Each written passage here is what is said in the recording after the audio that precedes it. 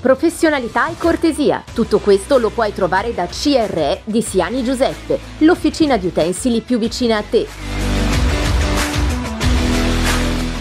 Nel corso di controlli mirati dei soggetti economici esercenti l'attività di stabilimenti balneari della provincia di Salerno, da parte delle Fiamme Gialle della sezione operativa navale Salerno sotto il coordinamento della locale Procura della Repubblica, sono state rivelate occupazioni abusive in maniera permanente e continuativa di oltre 4.000 metri quadrati di aree demaniali marittime, in assenza dei previsti titoli abilitativi, a fronte di canoni concessori nettamente inferiori al reale utilizzo. Ciò ha portato al sequestro penale di 15 aree demaniali, di numerose strutture, ombrelloni, lettini e sdraio. L'intervento della Guardia di Finanza ha permesso di interrompere per la stagione balneare 2024 introiti non dichiarabili potenzialmente quantificabili in circa un milione di euro. Al fine di tutelare il demanio marittimo, contrastare l'abusivismo edilizio e difendere l'economia legale, le aree oggetto di contestazione sono state immediatamente liberate dagli arredi balneari illecitamente collocati per consentire la regolare fruibilità della collettività.